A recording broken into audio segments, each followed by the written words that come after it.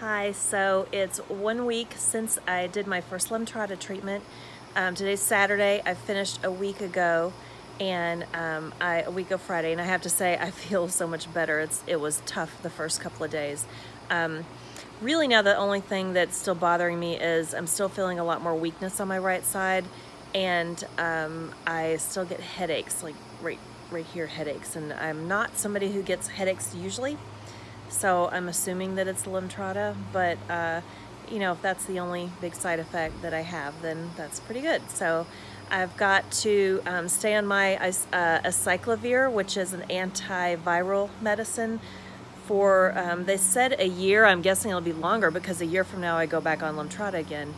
And um, that's it. I just have to, you know, get my monthly um, uh, blood checkups and um, stay healthy not get sick because that would not be good. So um, working on resting a lot because I'm still pretty tired and uh, eating healthy and um, losing weight and when I'm feeling stronger getting in shape which is going to be great.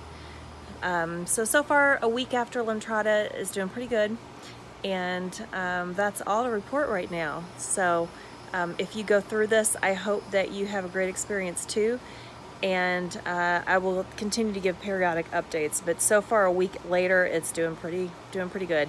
Bye